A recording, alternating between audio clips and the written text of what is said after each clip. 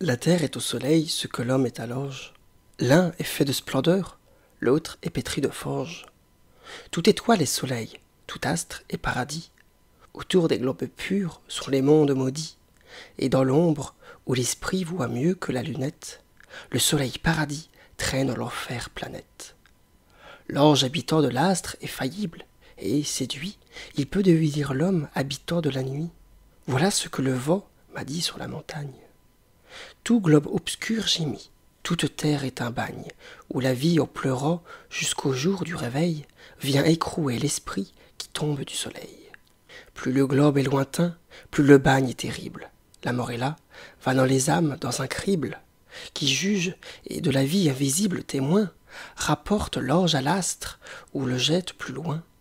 Ô globe sans rayon et presque sans aurore, énorme Jupiter fouetté de météores, Mars qui semble de loin la bouche d'un volcan, ô nocturne Uranus, ô Saturne au carcan, châtiments inconnus, rédemption, mystère, deuil, ô lune encore plus morte que les terres.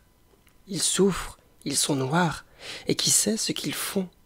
L'ombre entend par moments leurs cris rauques et profonds, comme on entend le soir la plainte des cigales.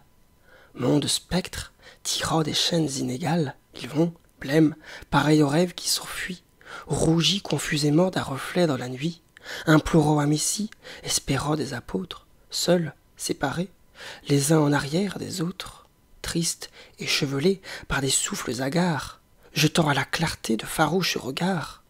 Ceux-ci, vagues, roulant dans les profondeurs mornes. Ceux-là, presque engloutis dans l'infini sans bornes, ténébreux, frissonnants, froids, glacés, pluvieux, autour du paradis qui tourne envieux, et du soleil, parmi les brumes et les ombres, on voit passer au loin toutes ces faces sombres.